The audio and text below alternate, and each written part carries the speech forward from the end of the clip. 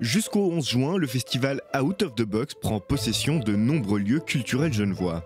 Out of the Box, c'est une biennale d'art inclusif. Inclusif, ça veut dire euh, une biennale qui accueille des artistes en situation de handicap et d'autres qui ne le sont pas. Au programme, des conférences, des expositions ou des arts vivants.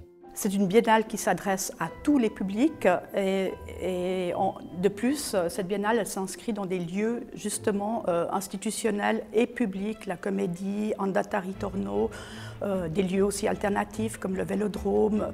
Le directeur de la galerie Andata Ritorno est habitué à offrir des cartes blanches dans son laboratoire d'art contemporain.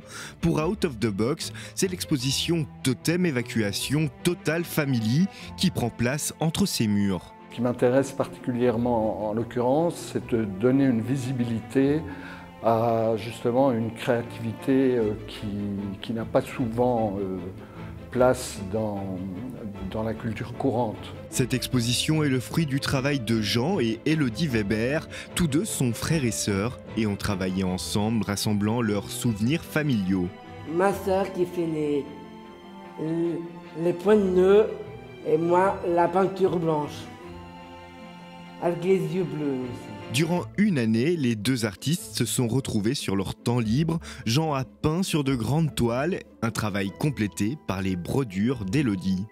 Bah, ça a été un cadeau en fait, ça a recréé des liens avec mon frère que j'avais eu plus dans l'enfance et à un moment donné on s'était un peu quitté en fait vers, quand j'étais adolescente. Et là on a recréé un lien autre en fait que le jeu et l'amusement d'enfant, mais différemment, un autre jeu. Pour Elodie comme pour Jean, l'exposition de ce travail représente un véritable aboutissement. Euh, dans mon galerie, et puis il y a les gens voir les, euh, expositions aussi. Et, et, et toute la famille aussi. T'es content? Oui, oui. oui, oui, oui, oui, je suis euh, content moi.